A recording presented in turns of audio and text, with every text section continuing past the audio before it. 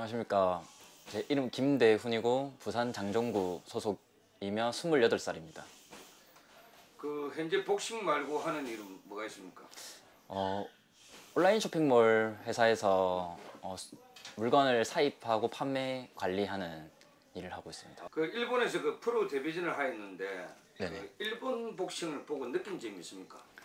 어, 일본에서 이제 복싱 시합을 하는 일반인들이 이제 티켓을 사서 오는 문화나 뭐 체육관들이 1층에 있고 뭐 시합 포스터들이 길거리에 있는 것들을 보면서 그런 복싱 문화가 부러웠습니다.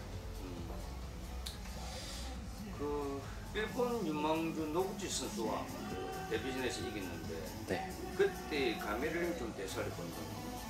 어, 데뷔전을 일본에서 그때는 무슨 생각으로 간다고 했는지 어, 지금은 제 자신이 스스로 그때 생각하면 대견하고 예, 칭찬해 주고 싶습니다. 아주 훌륭합니다. 그 노구치 선수가 김대훈 선수의 신호 승승장구하는 걸 알고 있는데 알고 있습니까? 아 네네. 간단하게 좀 얘기해 주신다면. 어, 노구치 선수도 이제 저랑 저 경기 하기 전에도 1전 1KO였고 끝나고 두 번을 더 했는데 둘 다 KO로 이겼습니다. 아, 김대훈 선수하고 하고 난 후에 두 번을 다 KO. 다 KO로 상대들도 무패 5승 0패 이런 선수들을 KO로 다. 아, 대단한 선수네. 대단한 선수이겠네. 근데 한 번 졌습니다. 아 누군데? 이제 통합 신인왕 일본은 나- 신인왕전을 나눠서 하는데 통합 신인왕전한테 그때 한 번 졌습니다. 아 만약 노구치 선수가 네. 그 김대훈 선수에게 하자고 하면 응해줄 것입니까? 노구치 선수는 너무 까다로워서 별로 안 하고 싶고 노구치 선수를 이긴 사람이랑 하자고 하면 한번 해보고 싶습니다. 두번 하기 싫다. 아 왼손잡이에 사우스포라서 예 사우스포라서 너무 하기 싫다. 그 요즘 한국 선수들이 일본 선수들에게 두려움을 많이 느끼는 것 같은데 네. 일본 선수들에게 이길 수 있는 비법을 가르쳐 준다면 저도 이제 일본 가기 전에 저희 관장님이나 이제 장정구 선생님이 해주신 말씀으로 일본 선수들이랑은 이제 맞짱을 까야 된다. 그냥 거칠게. 왜냐면 일본은 전형 정형화된 복싱을 많이 해서 기술로는 이기기 힘들고 밀고 뭐 누르고 이런 식으로 거칠게 해야 된다고 그렇게 하면 이길 수 있다. 이길 수도 있다고 생각합니다. 예. 나는 한국 권투가 그 일어서기 위해서는 예. 일본에 가서 일본을 이겨야 된다고 생각하는데 예. 김대훈 선수의 생각 어떻습니까? 이번에 그 강정선 선수한테 진 멜란도 필리핀 선수가 일본에 가서 이제 이기면서 필리핀에서 되게 유명해졌다고 하더라고요. 그래서 저도 똑같이 일본에 가서 이제 원정을 가서 KO로 이겨야 된다고. 그러면 우리나라가 조금 더 인기가 있지 않을까. 한국 복싱이 산다. 거의 뭐 일본 챔피언이 동양 챔피언이라는 소리도 있더라고요. 그렇죠. 예. 그 프로 2차전에서 예. 프로 2차전에서 그 부산 허심청에서 네. 강적 김행진 선수부터 네. 예 KO로 이기는데 그때 기분은 어땠습니까?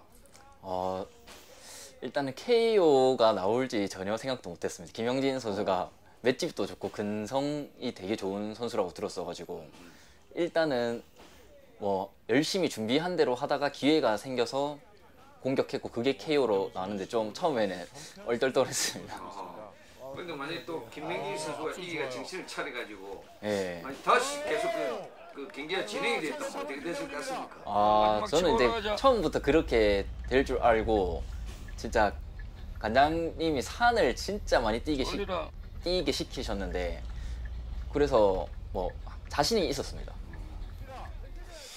김명진 선수는 그 만만한 상대가 아니었는데 대전을 붙였을 때 그때 심정은 자 지금? 연타가 터지고 있는데 아 경기를 보고 와이 진짜 큰일 났다.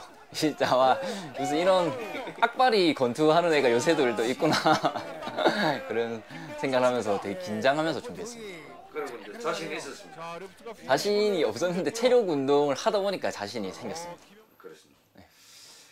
그 2023년 6월 18일 그 얼마 전에 그 허심층에서 아, 그 예. 김명진 선수가 난적 제주맥스에 아, 김우성 선수를 키워를 키워를 이겼는데 그, 경, 그 경기를 본 느낌을 말한다면. 아, 처음에는 저뿐만 아니라 주변 사람들도 난타전을 하는 걸 보고 막 주변에서 와 나도 저런 시합을 하고 싶다 이런 생각을 하고 있었는데 김우성 선수가 실신 된 것을 보고 아 조금 더 천천히 해도 되겠다 준비를 열심히 해서 올라가야겠다 이런 생각을 했었습니다. 네.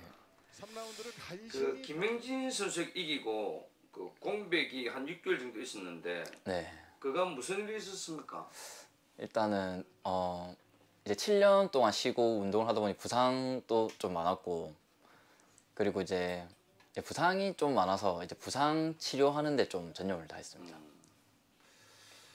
그러고 그 복싱 M 한국 슈퍼라이트급에는 음, 강한 선수들이 많은데 챔피언 근호훈 선수가 있고 그 1위에는 이범규 선수, 4위에는 최행신 선수, 6위에는 탁균 선수도 있는데 그중 한번 해볼 만한 상대가 있습니까?